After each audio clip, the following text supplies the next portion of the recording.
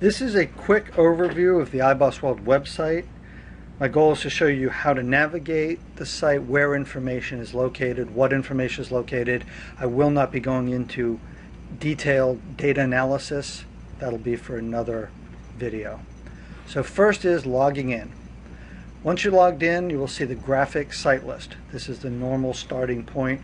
We also have a text-only version, which I'll show you at the end, but this is the normal starting point.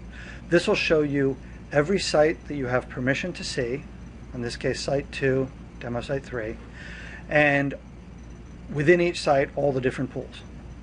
So for demo site 2 we've got our open issues here, we can click on an open issue and it will pop up that issue for editing or if you want to close it.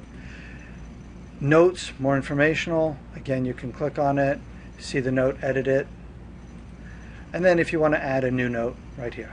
And, and if you add, this will be a site note. Then we have the individual pool itself. So the 36 volt pool, we can see how many chargers and batteries. We can also see there's eight alerts, eight things that are out of range.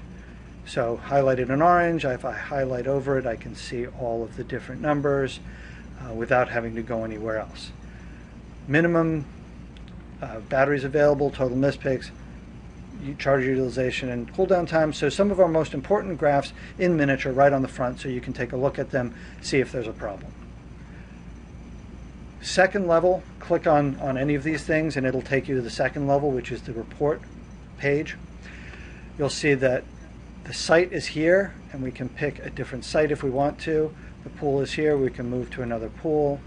We can change the start and end date. It defaults to the past 30 days. There's some shortcuts here for last 90 days, last seven days, or if you change these dates and you want to get back to the last 30, you can just click here, get right back to where you started. And down here is where we'll change to different reports. Right now we're looking at the availability report where we can see the minimum batteries available every day. Now, there's a third level of detail, so I can go here on a day when we had zero available and see some statistics in the uh, pop-up window there. But if I want to get more detailed than that, I'll click and go down to the third level, which is the very detailed transactional level. And this shows me exactly what happened during the day. How many batteries did I have available at any point in time? From a minimum of zero to a maximum of nine.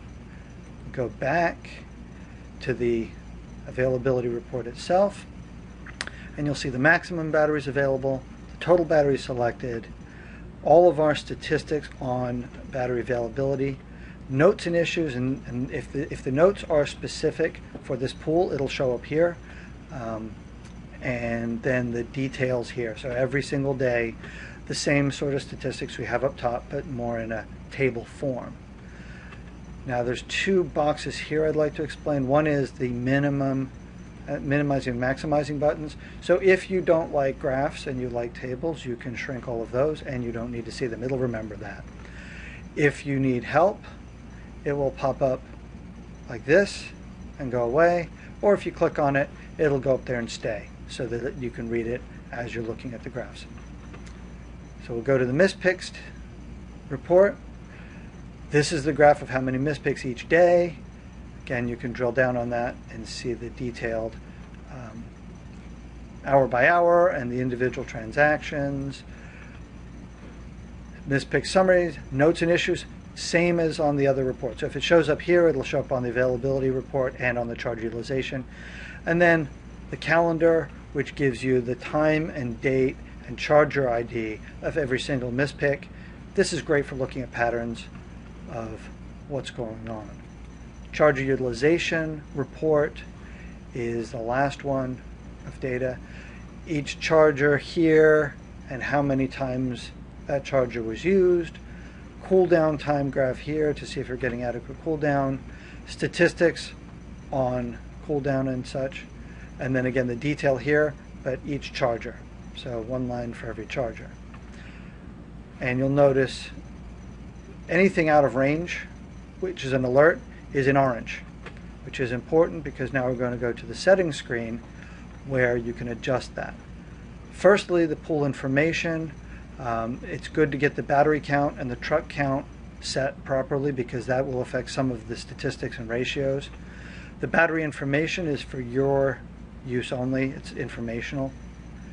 The alert settings is where you will turn off alerts that you don't want, turn on alerts that you do want, or over here, change the thresholds for that pool so that the alerts are either more or less sensitive to give you useful um, exception reporting.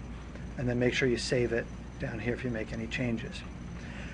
So then lastly, going back to the site list, this is the graphic, the standard one, but there's also a text-only version. So the graphs go away.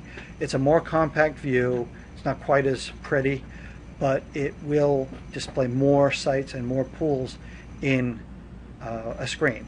So this is especially useful for users who have a lot of sites and a lot of pools.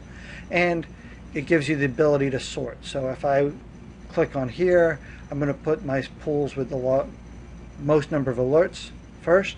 I can obviously hover here and see what they are but this would show me out of all my sites and all my pools which ones are having the most alerts. Or if I sorted by mispick percentage, I can see that this is the one that has the most mispicks in my whole fleet. And I can still click on these and drill down and get to the report page. So either site list works, use whichever one you feel more comfortable with, and they both take you to the same place as far as the report page. Thanks for watching.